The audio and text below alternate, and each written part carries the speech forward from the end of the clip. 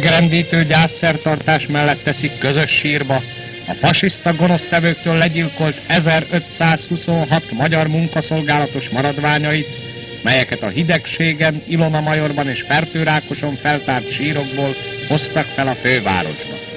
A tömegsír felett dr. Katona József főrabi tart gyászbeszédet. A köztársasági elnök képviseletében Antal nyugalmazott miniszter, a MUSZ Egyesület nevében Nagybaconi Nagy Vilmos és a kommunista párt részéről Szél Jenő mond búcsú beszédet.